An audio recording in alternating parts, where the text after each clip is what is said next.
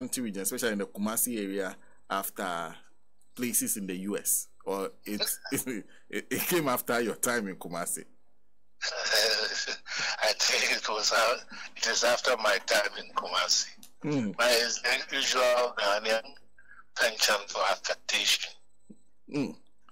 Affectation, copycatting behaviors elsewhere.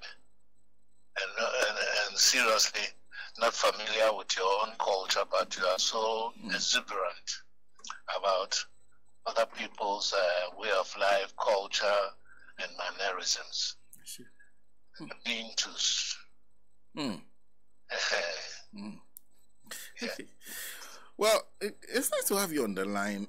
The last time we had a conversation, we went into your own background as an Ashanti yourself and how you understand uh, politics' approach in Kumasi and other areas of the Ashanti region. Now, having that in mind, what then are observations from what happened in uh, Manhyia first of all? Because that, that's where it seems that's the most important event yesterday. W what are observations? Well, Senna, uh, we must always remember that the National Liberation Movement, the United Party, and the current NPP, they all have their umbilical cord cut and buried at Manhyia. Manhyia was the birthplace of the UP tradition.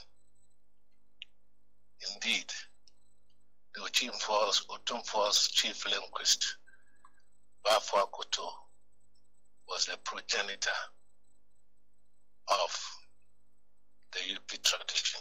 And uh, if I recall, it's not only the Abrimpon and the sub-chiefs, but all chiefs apart from a few recalcitrant ones, were made to swear an oath of allegiance to the UP political tradition.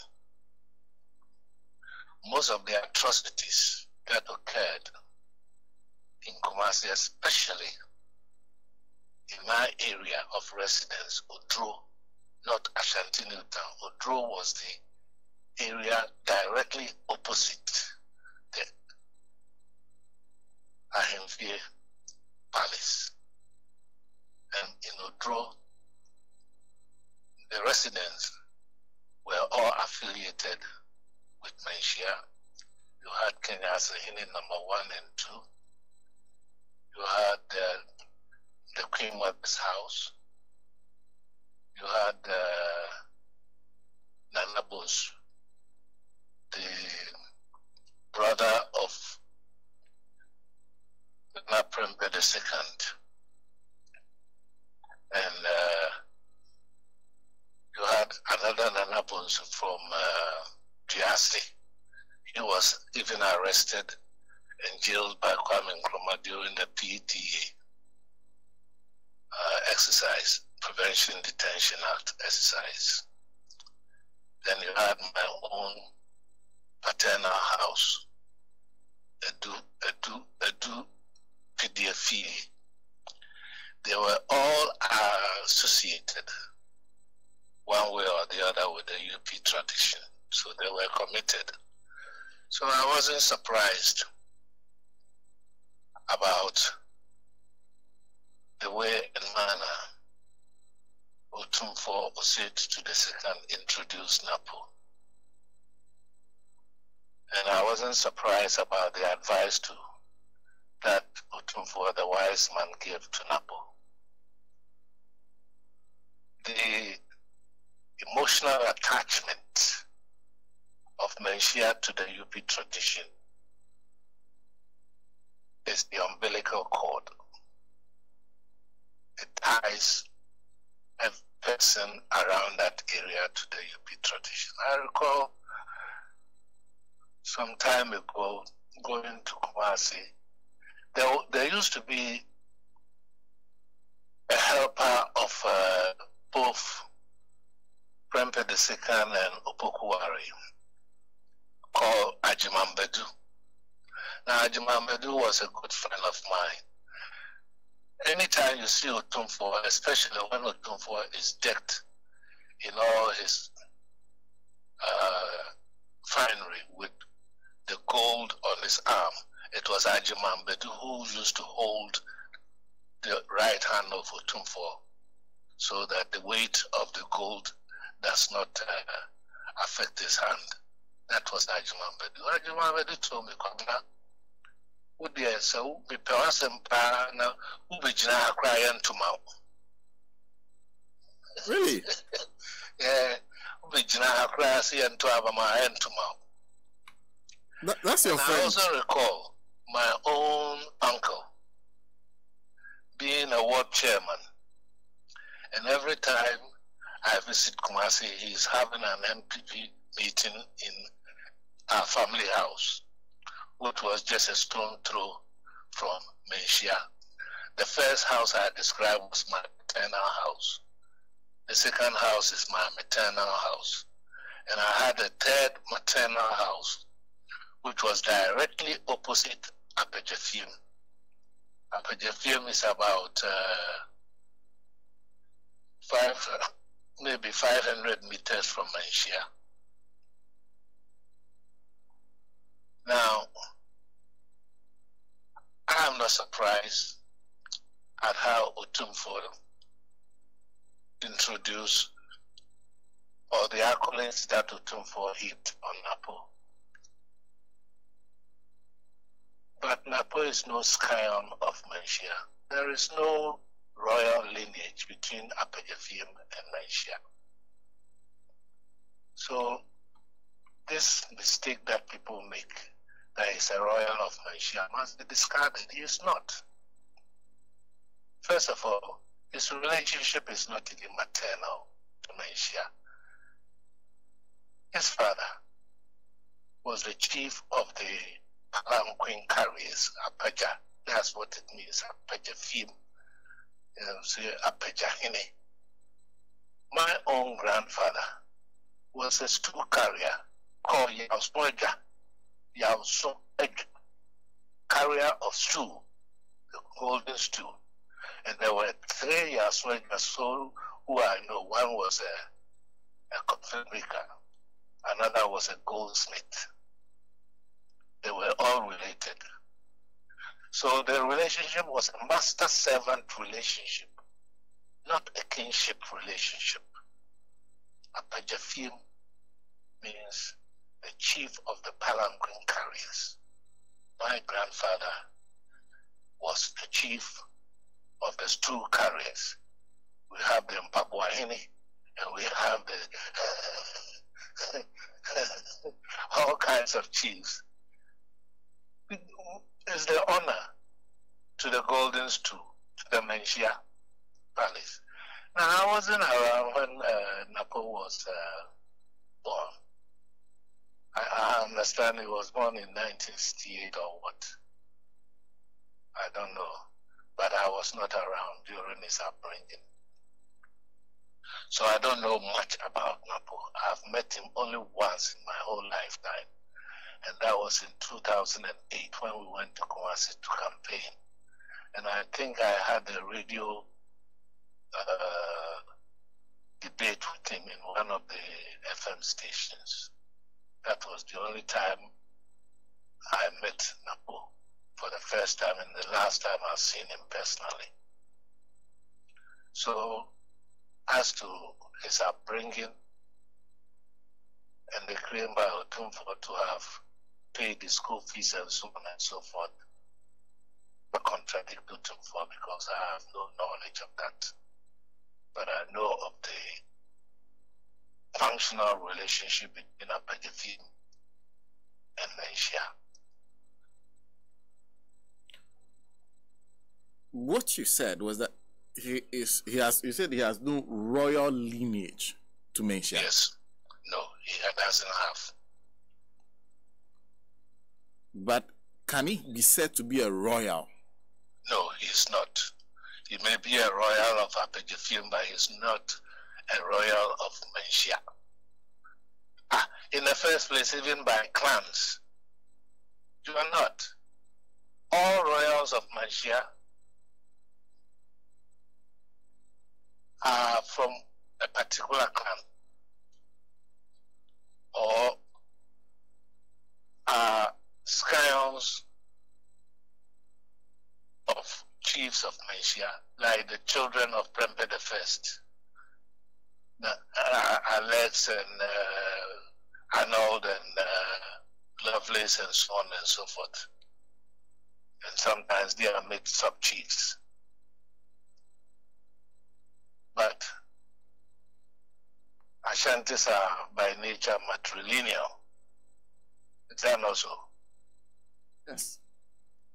And as much as some stools can be occupied patrilineally, like the Oyuku stool, it's not all the stools that are inherited patrilineally. Apegyefiem and Manhyia is a master servant relationship. Just like my own maternal household was a master servant relationship. But you also said Napo's link to uh, the Apegyefie is patrilineal. Why, why was it important yes, that you raised that? Patrilineal. He was, he was, he was the son of a former Apegyahene. Okay. His mother is not, uh, how shall I say, part of the, well, by marriage, of course, but not by blood. Ashantis are essentially matrilineal. So his inheritance is on the mother side, not the father side. Depending on where you come from. Okay. Yeah. Okay. If you are a girl married to an Ashanti man, you, you whose mother was married to an Ashanti man, you may say that my, I, am a girl, so my, my, my inheritance is from my dad. Is that not so?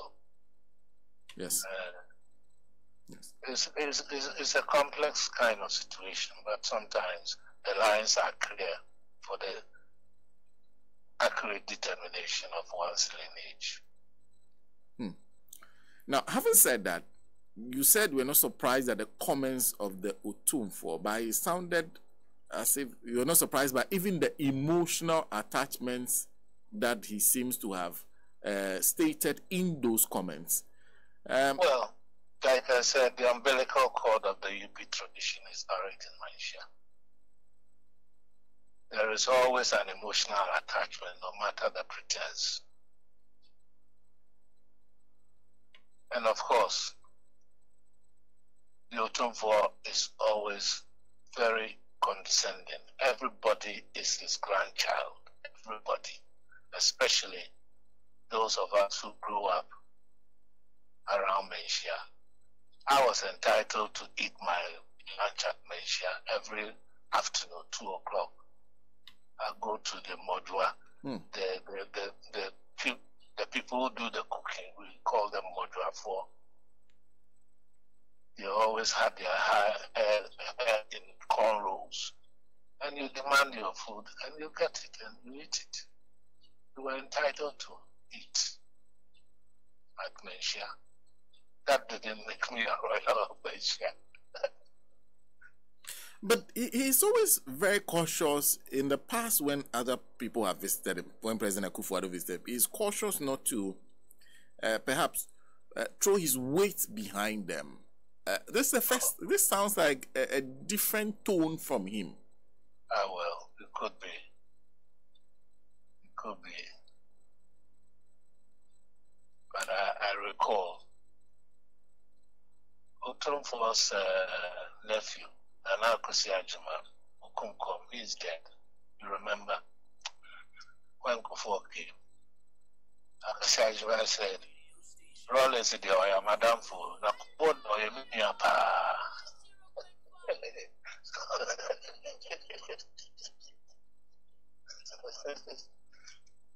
yes. They are, they are, they are, they are, ancestry from Nkawie. They are Apegyefiem people. They come from Nkawie. Yes. Kufuor's, uh, I don't know whether his cousin or uh, brother, Nana Kufuor, who became their carrier in it, was somebody I used to know very personally. I grew up with all his children. Just like I grew up with the children of Bafuor Akoto.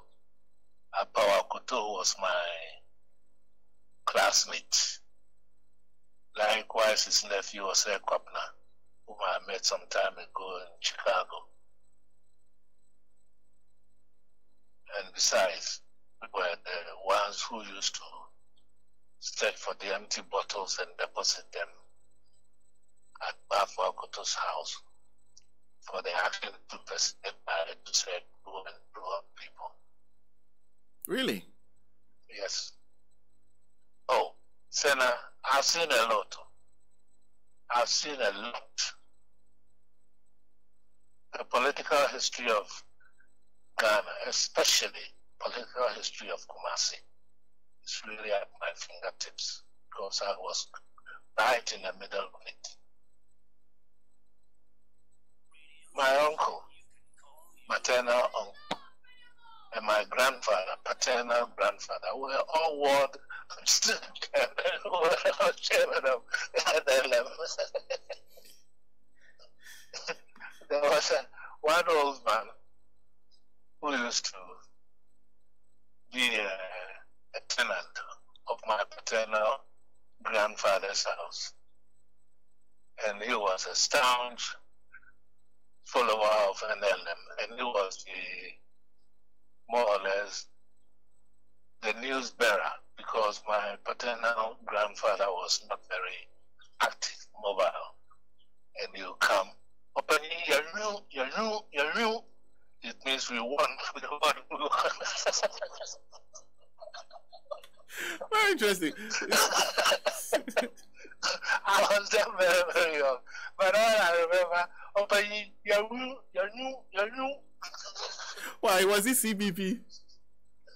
No,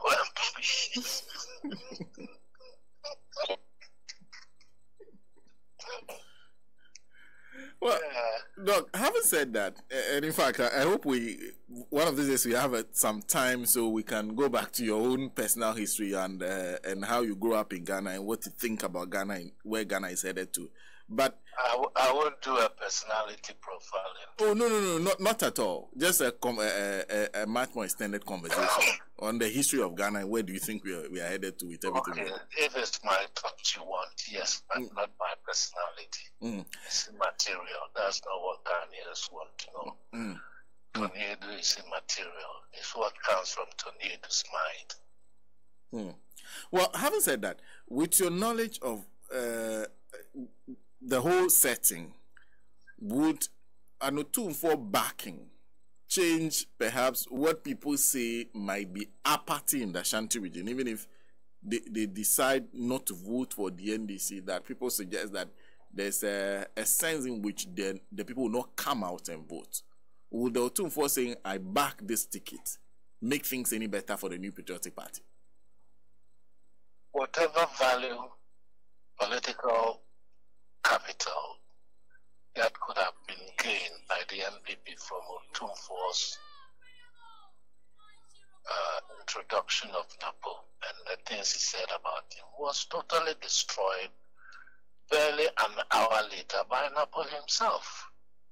Really? How? Arrogance. Arrogance. Character is like pregnancy. You can't hide it. If a person is bad, he's bad. Uh, essentially, he can't change his character. He cannot. Look at what he said yesterday.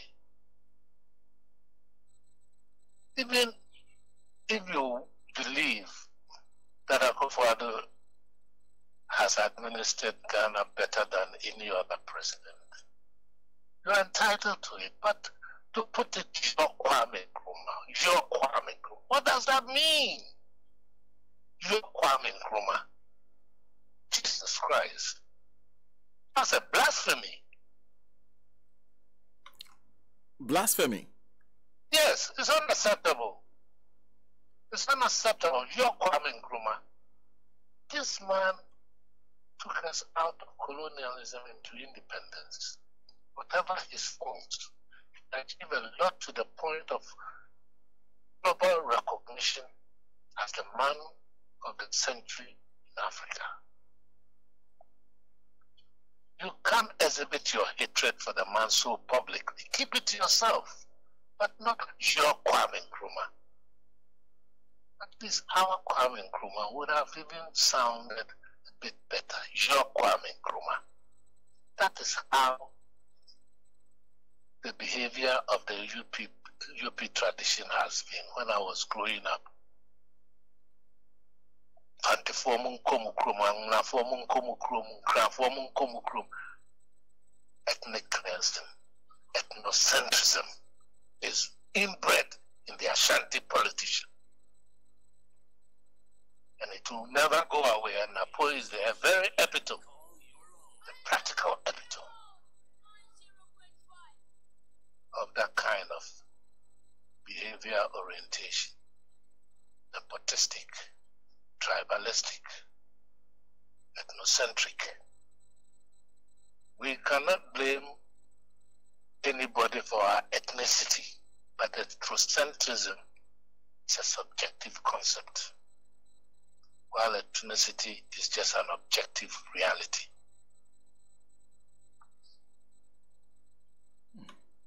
I haven't said that. Uh, and there's a question that comes to mind, but before I ask that question, how far do you think this ticket will go? This what? The tickets, the Napo Bawumia ticket. The Napo Bawumia ticket. self glorification, self denial of reality. It all terminating Kumasi. That's how far the ticket is going it will terminate in Kumasi. Yes, it will go nowhere. There's no way Ghanaians with their eyes open will vote another NPP government into office after eight years of wanton destruction of this country. Never in the history of this country have we seen such bad governance, such nepotism, such fascism.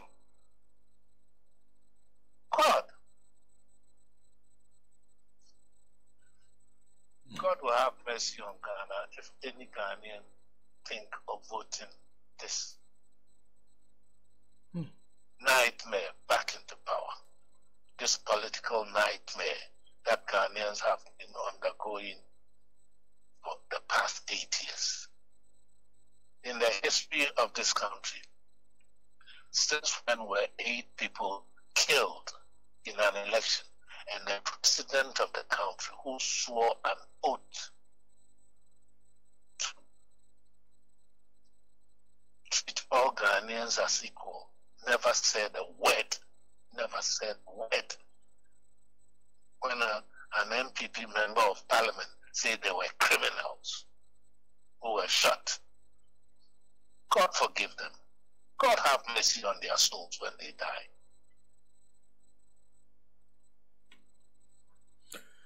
Well, Doc, I, I wanted to conclude then by asking you um, how did somebody who um, saw the history of NLM, in fact, he said you actively part, partook in it, how did you then be, uh, shift and become, because now you are in Nkrumahist largely, and then member of the NDC. What happened? I was not in Nkrumah I was very non-political when I was young, but my sympathy was with, especially when I saw how people supported CPP, like James Owusu, Sule MB, and others were treated in Kumasi. Like the battles that took place at Dunkirk and Abbas Park like the sheer brutal murder of a woman in front of me and my grandmother at Manhyia. My sympathies were with Kwame Nkrumah. I felt sorry for the CPP that they had to tolerate this kind of barbaric behavior in Ashanti region. It made me dislike the MPP. When I was young, I remember coming from school one day with a, a young pioneer scarf around my neck. That was the only time I had a knock on the head from my grandfather. he gave me a, punch, like that.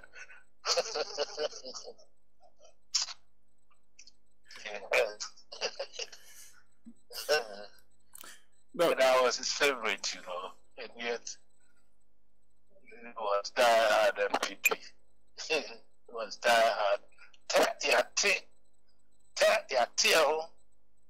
Yeah, before you pay well, no. Hey, my friend, did I sing?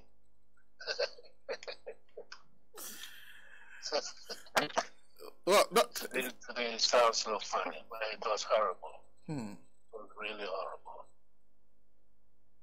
Thank, thank you for the journey through history today, and um, I'm grateful you made time to talk to us this morning.